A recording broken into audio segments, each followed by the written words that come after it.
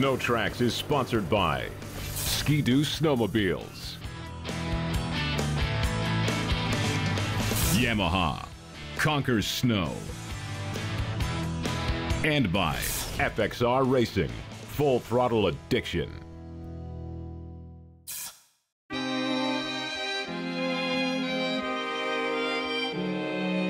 So for everyone who tunes into SnowTrax, the reality is this is the start of our season. It's midway through our season, but we've just actually hit the snow. We're out here in Revelstoke and we're uh, coming out to ride with uh, Brock Hoyer and Randy Swenson. Um, you know, snowbike guy, big mountain climber, and we're pretty excited to be out here and doing this in Revelstoke, BC.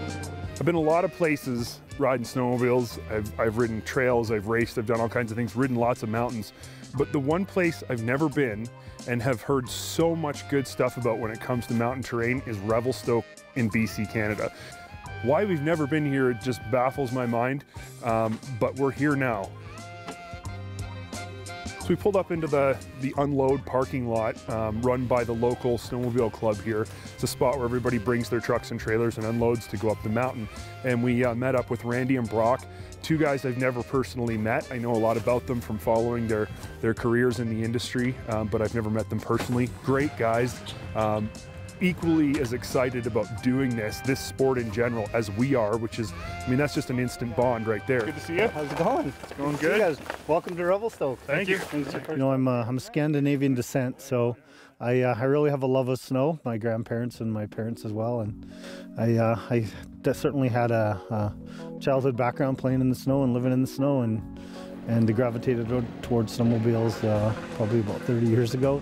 Bringing me to the mountain is the beautiful terrain, but also cross training support for uh, for motocross originally, and uh, always looking for that next next sport to train on. With, with sledding always being there, and ended up uh, trying to do the snowbike stuff, and got my first snowbike uh, to cross train for motocross. We uh, unloaded all of the uh, new Viper turbos with the MPI kits on them, which we were pretty excited to ride because these sleds make big horsepower at, you know, doesn't matter what altitude, they're always making horsepower, which is great. So we unloaded the sleds in the parking lot, got geared up, and for day one, it was all about these Vipers. As we rode out of the parking lot, we started in pretty skinny conditions, but it did not take long once we started going up the side of that mountain to get into some really, really beautiful snow conditions, some sun, and man, I can't even describe the awesome scenery as we were riding up the side of this mountain, kind of switchbacking, uh, going up into the backcountry. You're looking back out over uh, the town of Revelstoke, and it's just like, uh, it's amazing. I mean, you got mountains in the background, you got the river that runs through, you got the town, um, you, you just got all this beautiful scenery, and everything is covered in this, you know, just awesome layer of huge, deep snow. The sun was shining, the snow was white. It was just the coolest ride into the mountains I think I've ever had, and it didn't even it didn't even hold a candle to what was to come when we got up there.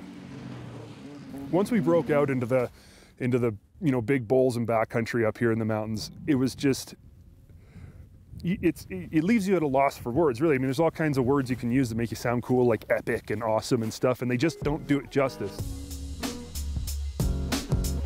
So right away we drop off the trail, and I mean, when you're riding in the mountains, it's something that I always am amazed at. The people who are locals and who know the spots, they just they take you over this hill, through this valley, across this one, over here, up and over and down. And I mean, I feel like I don't know where north is. Man, I'm trying to struggle to find up. And these guys are just like, follow me over here. We're gonna go over this next valley. We're gonna go through this, and boom, you open up into these beautiful meadows and these untouched, un, untracked spots that are just mint. Well, today we're up, uh, you know, we're in Boulder Mountain in Revelstoke, BC, and we're here today with uh, the SnowTrax fellas, Luke and AJ. We're going to uh, let them experience Yamaha four-stroke snowmobiles in a mountain environment. The you know the 2016 uh, Yamaha Viper MTX with our factory-approved 180 turbo kit. Uh, we feel that we've made a great strides in uh, the chassis and the handling and, and make them really boondocking type snowmobiles, not just sheer hill climbers based on horsepower. So we, uh, we want them to experience that. So the real issue for AJ and I coming out to do this, the only concern I think he and I actually had was that we hadn't ridden a snowmobile all year. I haven't swung a leg over a snowmobile at all because there's just no snow at home.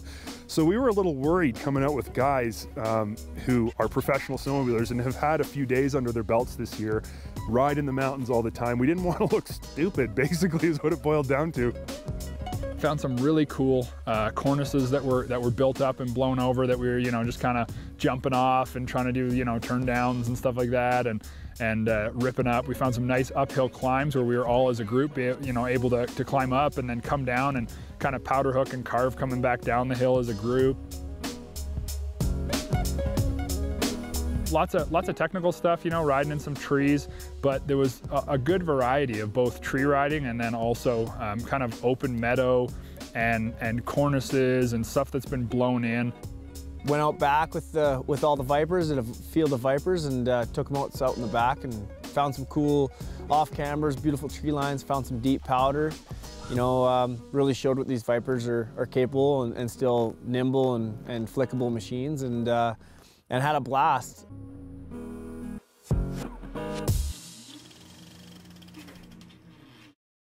SnowTrax is sponsored by MBRP Performance Exhaust. Lightweight performance. We really just wanted to see a variety of terrain while we were here. The, the idea was to just get a great feel for how these Viper MTX turbos handle in all conditions. That's what we wanted.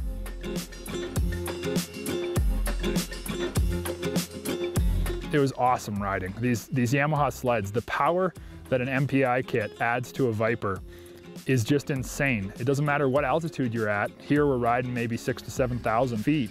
This thing is making that 180, you know, horsepower all the time. Well, the reason I think the Yamaha Viper MTX is such a great sled is the four-stroke technology. We know it's a little heavier. I don't think it scares a lot of people. It's certainly, we've, the new chassis with the new 2016 front end has made it very maneuverable. I think you'll witness that and you'll feel it yourself when you go and ride it because it is something that uh, is very comparable to any of the current two strokes on the market. You know, when four strokes came along, we had the RX1 Mountain and then we had uh, Apex, uh, Apex Mountain and, and Vi uh, Phaser Mountain and Nitro Mountain MTX. So we've had a long history of MTX models and we're really proud of the latest offering in the, in the Viper MTX. whenever we go to the mountains, this is kind of what we look for. Some really sweet kind of blown in drift to hit with a really nice landing. And this one's one of the best. You can hit it pretty much full speed. And because it's an uphill landing, the, you don't hit very hard when you come down, but there's also a few cool things you can do, kind of get the sled sideways. This is what AJ and I, whenever we come to the mountains, this is what we're hunting for every time, and we found one.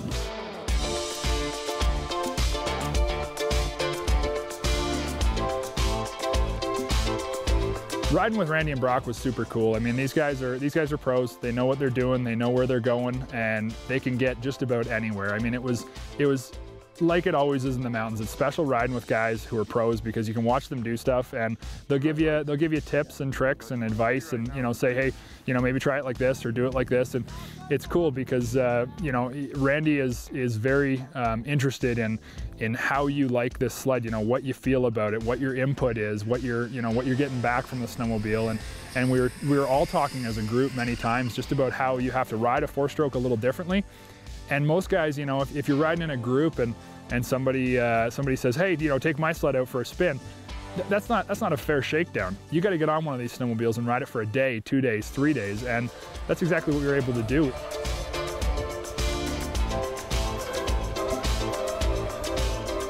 well, I know that the, the SnowTrax guys have uh, been on snow a lot. I know they've been all over probably the world snowmobiling in different terrains and different environments. So I'm pretty confident they had some skills. So to watch them throw those SR Viper MTXs around like a current two-stroke, I was really impressed.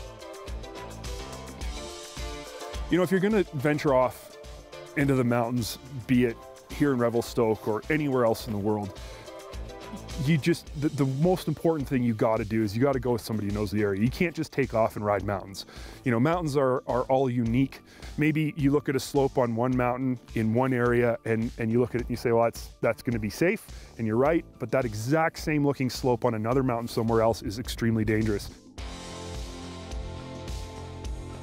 You know, what's really important when you're when you're riding in this type of terrain is uh, you, that you have some education when it comes to uh, not only just safety but avalanche education, and avalanche uh, knowledge, uh, empowerment, uh, getting your buddies in the classroom as well. So we really encourage, uh, as Yamaha and also every manufacturer through ISMA, we support the Canadian Avalanche Center, which is now called Avalanche Canada. And it's important that we get our customers into the classroom and every dealer uh, works with those that customer base and gets them into a classroom to get some avalanche education and you always keep learning from that and a refresher course every two years you know practice practice practice and uh, make sure you always empower your friends and your riding buddies to get in that classroom as well with you I had a great time on these Vipers with the MPI turbo kits. I mean, honestly, it was it was a really really good experience for me to get on a mountain sled with a four-stroke and a turbo and have have the time to really give it a good fair shake. With that said, I gotta tell you, I was pretty amped about day two, which was gonna be snow bikes. SnowTrax is sponsored by Snowmobile in Quebec. Experience a ride you'll never forget.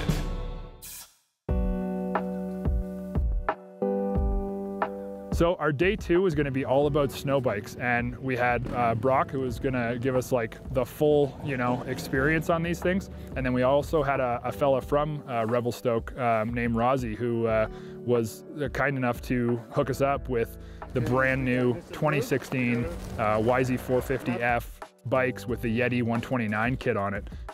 I, I mean, to say that I was excited would be an understatement, but I was also super nervous because as much as everybody can tell you this is going to be so easy, and, and the guys all kept saying, this is easy, you know snow, you know riding snowmobiles, you'll be fine out there, you've ridden dirt bikes in your, in your past and you'll be fine. I just didn't believe them. I gotta tell you, I was I was intimidated. I mean, looking at at a snow bike on hard packed snow, you you just you're not sure if you're gonna be able to ride this thing.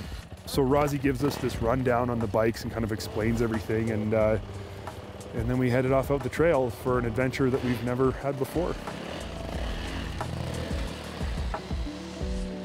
They have good sledding backgrounds, so we knew that we'd throw them right into the, the heart of it right away, I gave them a couple quick little tips, and um, as fast as you told them, they were learning it and flying up the trail right off behind you.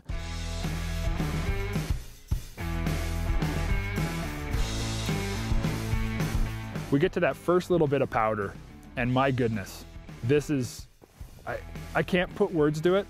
And no matter how I tell you, you're probably not going to believe it, but you should because these guys told me this is easy, this is fun, and you're going to have a blast.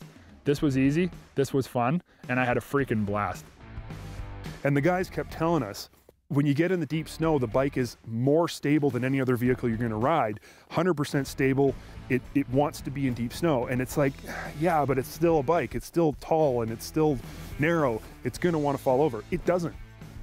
And we didn't hold up when we got up to Boulder in Revelstoke, BC. Uh, we definitely threw them off some cool stuff and into terrain that, uh, you know, would have been a little difficult on a sled just because of the trees and getting hung up and stuck. And, um, and they blasted right through it with no problems. I think the best part of this experience, and certainly the most useful part in terms of uh, riding the snow bikes, was that we got to ride with Brock and Randy. And Brock, in particular, is an exceptionally talented snow bike rider. So riding with them was great because it gave me an opportunity to see what could happen, what could what could we do, where could we go. I just followed them, and, and sure enough, anywhere they took us, whether I looked at it and said that's impossible or not, we did it. We got out. Everything went well, and it was just a fantastic experience it's super cool to see how this sport is evolved and how there's there's different brands and different versions. But at the heart of all of what we were riding is the 450 power plant from Yamaha and the 450 uh, YZ, which is just a it's a it's a work of freaking art. While before it might have been a little unattainable for the average person to go out and ride a snow bike, it's not anymore. If you're here or if you want a place to go to try something new that you're gonna love, come here and rent a snow bike. Come here and rent a YZ with a Yeti kit on it and take it up in the mountains and give it a try. I guarantee if you're the kind of guy who likes a challenge but also likes to, to just shred in powder, you're gonna love a snow bike. So make sure you got enough money in the bank to buy one when you get home.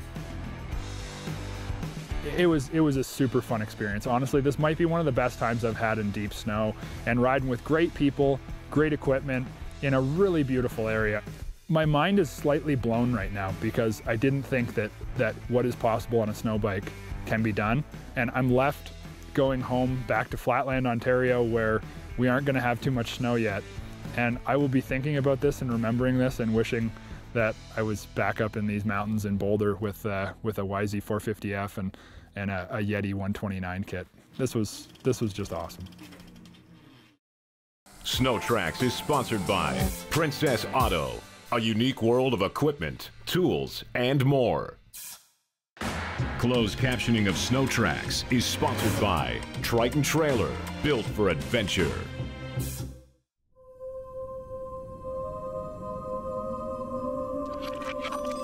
The snowmobile mountain segment is one of the most fiercely contested in the industry. Year after year, manufacturers are scraping to find even minute improvements in flotation and handling. Sometimes they find something more substantial though, something that takes their sled to a different level. And that's exactly how it happened to Arctic Cat with their M8000 in 2016. It sees some significant changes that will take you farther more easily than ever before. The most significant is the all-new front suspension called Arctic Mountain Suspension or AMS, with a completely redesigned spindle Arctic refers to as the bone and a new 34 to 38.5 inch adjustable ski stance. The 8000 I have here is a limited model, but all M series get the new front end. The bone spindle is meant to do two very important things. First, its shape is specifically designed to get the spindle out of the snow while the sled is on its side during a side hill. If you look at a 2015 M model from the front, it becomes pretty obvious why this was important. That race-inspired spindle sticks way out past the bodywork, and it's not hard to imagine how it would drag in the snow when carving or side hilling. The bone spindle is sculpted, so when combined with the ski's stance adjusted to its minimum, almost all of it fits within the perimeter of the bodywork, meaning when the sled is on its side, the body should drag before the spindle does. The second change to the M series front end is geometrical. The caster angle of the spindle has been increased from 17 to 27 degrees, which causes the skis to tilt slightly when they're turned. We call this camber, and the idea is that it better aligns the ski with whatever hill you're side hilling against. The results of these two changes, along with the new A-arms they require, are dramatic. Getting the M its side requires drastically reduced effort, as does keeping it there. Furthermore, while it's on its side, it's far more controllable and easy to handle. The 2.5 pound weight savings of this setup is nice, but pale in comparison to the improvement it makes in handling. Of course, the next big improvement to the M Series this season is the addition of a 3 inch track. If you've never ridden a mountain sled with this size of a lug, you can't possibly appreciate what this type of traction is like. Even in the 153 inch length we have here, traction is unbelievable. Taking off from a dead stop on the side of a hill requires nothing more than a flick of the trigger and a firm grip on the bars. Places and situations that would leave you trenched to China in a heartbeat now present little or no challenge at all. At the heart of the M8000 is Arctic Cat's tried and true 800cc twin. It has more than enough horsepower to spin that monster 3-inch track, but it's got a bit of a high-strung power band that requires you to run it with tons of throttle all the time which is great when you're slaying the powder or ripping through the trees like Rob Kincaid, but for guys like me who prefer to pick their way along when it's tight, it can be difficult to precisely modulate the throttle. An 800 CTEC 2 with more torquey bottom end would be a very welcome addition to a chassis that is the best it's ever been. That beefy 3-inch powder claw track is wrapped around an updated skid frame Arctic Cat is referring to as the float action. New rails and overall new rear suspension geometry increase travel, improve the ride, and most importantly, maintain a constant track tension. A Fox Float 3 Evol front track shock now complements the Float 3 Evol R rear track shock on limited models. When you increase traction the way a 153 by 3 inch lug track does, there will no doubt be an increase on driveline components, including the belt and the drive chain. Arctic Cat addressed both of these potential problem areas by updating the chain case with a Borg Warner chain and sprocket assembly that is more durable and allows for 20% less stretch. A brand new set of team clutches designed in conjunction with Arctic Cat boasts a laundry list of features aimed directly at increasing durability and adjustability. In the primary, a steel spider, larger spider bearings, and an increase in spider button contact area alleviate some of the issues seen on last season's high horsepower units. The built-on shaft secondary, or BOSS, is designed so the two halves of the clutch are assembled directly on the jack shaft.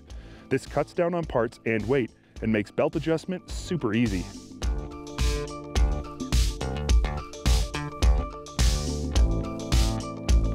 Unfortunately, there's only enough time in a single test ride to go over the major changes Arctic has made to their M series in 2016. But these changes are complemented by a whole host of smaller updates that make 2016 the best year Arctic Cat has ever had for the M series. It's lighter, has excellent rider ergonomics, improved front end geometry, including a low profile spindle, and an excellent 800 motor. All of this is topped with a set of the industry's best air shocks and a 3 inch track. The 2016 Arctic Cat M8000 Limited can and will take you farther than you've ever thought possible. The question is, are you brave enough to go?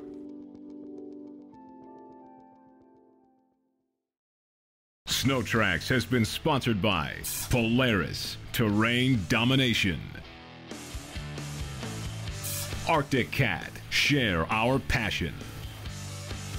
And by Ontario Highlands, come wander.